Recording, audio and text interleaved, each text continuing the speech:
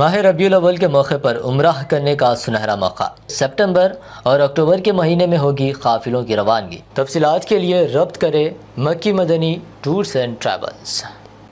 अस्सलाम वालेकुम आदाब, मैं हूँ अब्दुल खादर। आइए 17 सितंबर की देखते हैं टॉप टेन न्यूज़ स्वीडन की नाटो में शमूलियत के लिए तुर्की की हिमात उस वक्त हासिल होगी जब स्वीडन कुरान पाक की बेहरमती रोकने के कानून को अमली शक्ल नहीं देता। तुर्क सदर तैयब एर्दवान का बयान कहा, तुर्किया ज़बानी कलामी पर यकीन नहीं रखता। तुर्किया वक्त ज़रूरत यूरोपीय यूनियन से तर्क ताल्लुक़ कर सकता है इख्तियार। ईरान में हिजाब की पादाश न करने पर पुलिस की हाथों हलाक, कुर्द खातून महसा अमीनी की हलाकत को एक साल मुकम्मल, मगरबी ताकतों की तरफ़ से ईरान पर नई पाबंदियों का किया गया एला ईरान ने नई पाबंदियों की सख्ती से मजम्मत की। इन्हें मुदाखलत पसंदाना इकदाम मज़ाक खेस और गैर कानूनी फ़ैसले करार दिया। स्पेन में सड़क पर लाइव रिपोर्टिंग कर रही एक खातून रिपोर्टर के साथ ऑन कैमरा एक अनजान शख्स की जानब से शर्मनाक हरकत करने का वाक़ शख्स ने नामनासिब तरीके से खातून को छुआ वीडियो हुई वायरल तो अनजान शख्स को पुलिस ने किया गिरफ़्तार। जनसी हरासा करने का लगा इल्ज़ाम।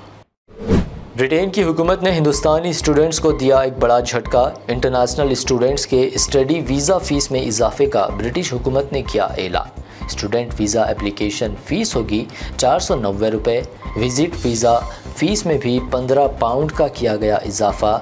चार अक्टूबर से होगा इजाफी फ़ीस का इतलाक़ कल पीर 18 सितंबर से शुरू होगा पार्लियामेंट का पाँच रोज़ा खसूस इजलास। पार्लियामेंट की नई इमारत में होंगे दोनों ऐवानों के इजलास और वहाँ से कानून साजी का काम काज होगा शुरू। सेशन में आज़ादी के बाद से पार्लियामानी सफ़र में हासिल कामयाबियों तजुर्बात और यादों पर की जाएगी बात। मरकज़ की मोदी हुकूमत ने एक नए स्कीम कराई मुतारफ़। तालीमी इदारों में दाखिले सरकारी व खानगी शोबों में मुलाजिमतें, या फिर आधार कार्ड और डॉक्यूमेंटेशन, लाइसेंस वगैरह बनाने अलहदा दस्तावेज़ा पेश करने की ज़रूरत नहीं। अब सिर्फ़ एक बर्थ सर्टिफिकेट पेश करना काफ़ी। आइंदा माह से होगा अमल। अनंतनाग इंकाउंटर के बाद दिल्ली के सीएम अरविंद केजरीवाल ने पीएम मोदी पर उठाए सवाल। छत्तीसगढ़ में जलसे के दौरान कहा, सिपाहियों की शहादत के दौरान जश्न मना रहे थे बीजेपी वाले। शहादत को चार दिन के बावजूद भी मोदी खामोश। पूछा, क्या आपको दुख नहीं?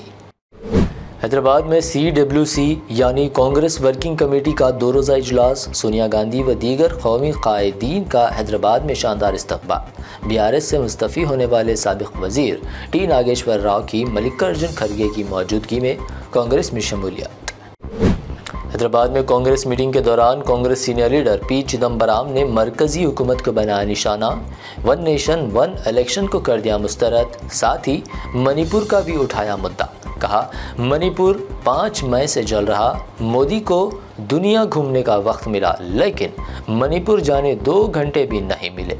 ये इंतहाई मायूस को मुल्क की मुख्तलिफ़ रियासतों में नफरत का माहौल, जबकि तेलंगाना में अमन व अमान के साथ गंगा जमनी तहजीब। मिनिस्टर हरीश राव का बयान, दावा किया, अकलीतें मुल्क में सबसे ज़्यादा तेलंगाना में महफूज। कहा, सारे मुल्क में अकलीतों की तरक्की व बहबूद के लिए काम करने वाली तेलंगाना वाद रियासत ये थी टॉप टेन न्यूज़ में दस अहम खबरें। बी बी एन चैनल को सब्सक्राइब, इस वीडियो को लाइक और शेयर ज़रूर करें। माह रबी अव्वल के मौके पर उम्राह करने का सुनहरा मौका। मक्की मदनी टूर्स एंड ट्रैवल्स की जानब से सितंबर और अक्टूबर के महीने में होगी काफिलों की रवानगी। हैदराबाद एयरपोर्ट से सऊदी अरब और फिर हैदराबाद लौटने तक मुकम्मल रहनुमाई, मक्का मुकरमा में 300 मीटर और मदीन शरीफ में 100 मीटर की दूरी पर स्टार होटल में ख्याल तीन वक्त हैदराबाद का खाना और लॉन्ड्री की भी सहूलत। मालम की रहनुमाई में उम्र की सादत और तमाम मुक़दस मकाम की ज़्यारतें। माह रबी अव्वल के मौके पर हज़रत मोहम्मद सल्लल्लाहु अलैहि वसल्लम के शहर मदीना में क़्याम का सुनहरा मौका। बुकिंग के लिए फौरी रब्त करें। Makki Madani tours and travels, Kakaji towers Taiba market, near old Charminar bus depot, Hyderabad.